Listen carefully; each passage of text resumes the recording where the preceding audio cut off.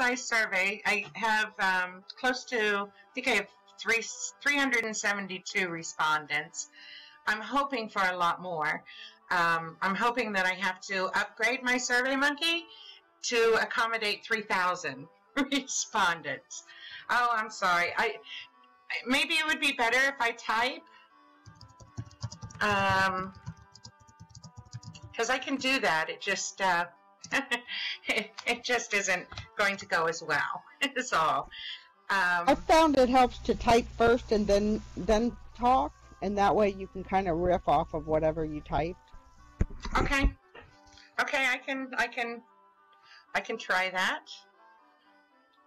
That means you're going to have to um, you're going to have to listen to me type. oh, there's a transcriber. Oh, that would be nice.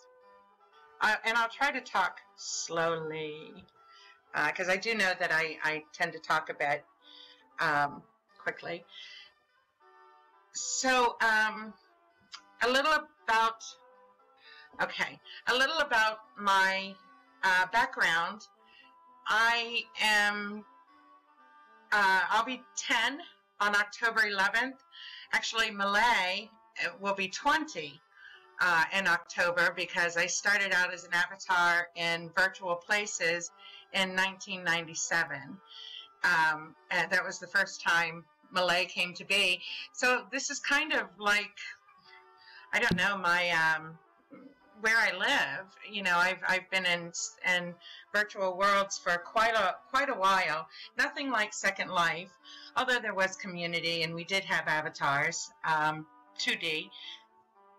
Um, so yeah, I'll be 20. Yay! Um, Millay will be 20, and I've always been curious. I, you know, I found when I started at second in Second Life, I was a physics major at the university, and I knew the day that I rezzed that I had to somehow incorporate this into my study or quit school because I knew I was going to be addicted. This was it. This was what I was looking for. So um, I started Four Bridges Project and uh, went into peace and reconciliation studies um, you know, I've always been kind of a peacemaker at heart anyway. So, you know, and then I, I found that um, as Millay was giving presentations in Second Life, Amy uh, was getting more confident, and uh, I, I, found more of my own self by interacting with others through Millay. And I, I thought that um, you know, I thought there, that there must be something to it. So um, that's how I got started. That's how I got started with the research. And then when I went into my graduate studies, I've used Four Bridges throughout my academic career. Um, you know, as, as part of like my, I did, that was my capstone. I used it for my thesis project. So it made sense to, um, to use it for my for my dissertation research. And and I kind of went back and forth. I, I had problems with my committee. I didn't have a committee for two years. And you know then uh, now I'm on this expedited track and uh, so I will defend in December and um, you know and I'll, I'll hopefully be Dr. Cross at the end of it and I, I like that my doctorate is in Second Life That's what I tell people. So, um, so anyway, that's how this got started. And when I was doing the survey, when I was coming up with the questions, I wanted to ask things that I wanted to know as a user. Um, and as opposed to, you know, looking at things, I wanted to look at things that I was curious about that I thought that um, other residents might be interested in knowing. Um, and I had, you know, I did all kinds of research on how to write a survey and uh, how many questions to ask and where to put the demographics. And uh, as I was doing all of that, you know, condensing everything I wanted to know and needed to know from my research, obviously, to it was supposed to be 45 questions. It ended up being 48.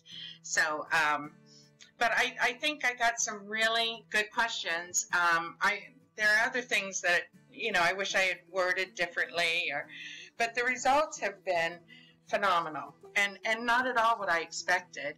I am hoping. I really want to get a more diverse.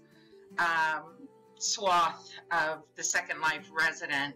I've had most of the people who have responded indicate you know, in, in one way or another, I would say uh, this is an estimate. This is not from my survey, but I would say about 60 to 65% are educators, which, you know, says a lot.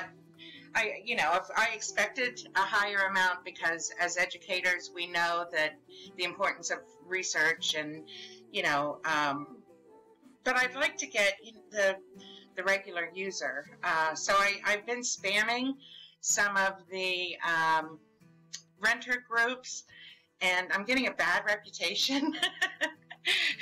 At least I'm not asking for 250 Lindens to pay my rent.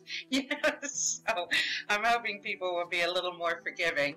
But I would like to get, um, I would like to get a more, a more diverse response. So I'm open for any any ideas that you have. I spammed some of the groups on Facebook, and um, you know, I'm going to continue to do that. Uh, but any ideas that you have about groups or whatever, if you could get the word out, that would be great. The survey is open until October 15th, and then I really have to start looking at the results. Oh, good. I'm, I'm glad. I really appreciate any help. Um, so, if you don't mind, or if, unless you want to know more, um, I'm going to talk about some of the results that I've gotten, which is kind of it's kind of interesting. About 79% of the ones who have responded have been in Second Life for at least eight years, which is really, I, I you know, that's that's pretty incredible to me. I think that, um, you know, I expected more in the three to five year range. So um, I thought that was interesting that 79% have been in at least eight years. Um, oh, and um, one of the reasons for joining, the, the biggest reason, this is one of the questions that I wish I had asked a little differently. Um, I asked why people join Se- Second Life. And the first answer, the one that uh, 52% have responded to, um, is curiosity. Now, I, I that says a lot, but where did where did that curiosity come from? That's that's my question, and so I kind of missed the boat on that one. Uh, but that's the that's the one that uh, has gotten the most responses is curiosity. Not many, for all the educators that were responding, not many came in for education. So that, although we changed the education uh, category to for a class. So that may have that's the one question that I wish I had I wish I had worded differently.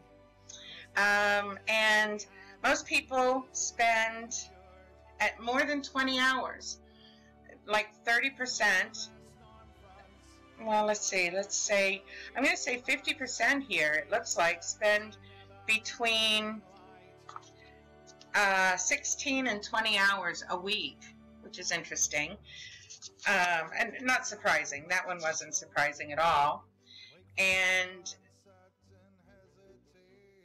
between three or three and four hours was 40%, and then five or more hours was uh, 21%. So uh, three or four hours is, is the common amount of time per session in Second Life. And this one didn't surprise me. Live music. Live music is what 60% of the respondents do in Second Life. I think that's excellent. I know I spent I spent so much time in Second Life when I first joined, so that was a surprising one I would have guessed. But I think we all kind of go, you know, when we're doing these surveys don't really want to admit how much time we spend in here. But yeah, live music was uh, it was live music and socializing. Those are the two big ones, and they're running pretty much neck and neck. Um, so, and that that makes sense too. Uh, griefing griefing is also in here, and we had 1% who come in just to grief. Anyone who knows me and knows Four Bridges knows that I love the griefers. I like to turn them into scripters for me, and you know, I very rarely, I, have never banned or kicked anyone off of Four Bridges, so um, that's why I included that. Clubs and venues runs a very close third, so all you club owners. Um, and uh, then the next one, the fourth one, is to explore simulated locations like uh, Berlin, Paris, Sistine Chapel, and all of that. So, um, you know, and that wasn't so surprising. Oh, and um, relationships with others, intimate relationships with others. That's 50% answered yes to that one. So, and another cool one that I like, um, like, because, you know, with everything that's going on and all the diversity. Exploring other cultures was pretty good. That was 25%. Um, exploring sexuality was at 25%. And exploring gender, you know, most of the research I've read has said that, um, you know, many of the women in here are men and that sort of thing. Well, they're not answering this survey because exploring gender was less than 10%. So um, I thought that was interesting. Oh, and here's another one that just blew my mind. I don't know about you guys, but I have like, I don't know, I think I have five or six, maybe even more alts, you know, because I have one that handles the money, one that does this, one that goes shopping, one when I just want to um, hang out. So I expected that most people had, you know, maybe four or five. Um, actually, 43% have one avatar. One. Seriously, one avatar. And then uh, 32% have two avatars. But less than 20%, less than 15% actually, have more than two avatars. Yeah, just one. I, I, it's like, where did you people come from? because I have one just for, uh, you know, just when I want to just go exploring. So I thought that was a really interesting one. Um, 95% have an, oh, sure. The question was, how many avatars do you use regularly in Second Life? And um, nearly 50, I, I guess it's 45%, use one just one avatar. And then um, 33% use two avatars. So that's what, 78%? And then um, three is like 12%. And then the rest of them are less than, uh, less than 5%. Like, yeah, so, and then only a few would rather not say how many they have. So, um, uh, that one, that one really, really, really surprised me. Um, and but 95% of them have. I did.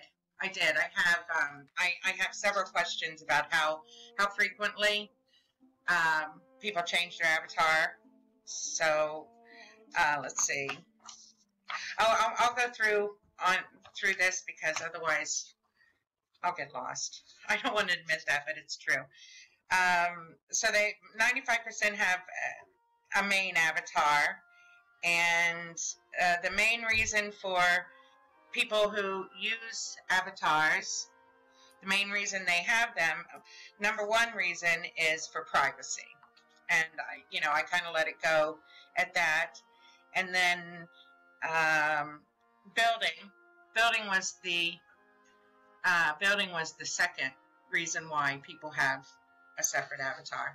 I should read some of these questions. Um,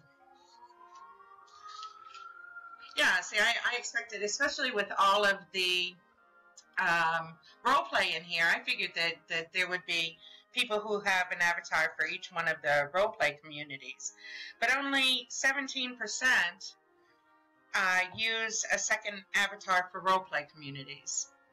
So this this all kind of um, kind of was not what I expected.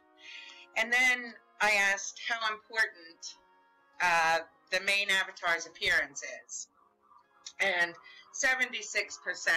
Oh, I, I have to apologize. I live downtown right by the police and fire station, so the the sirens. I'll try to mute when they come by and type.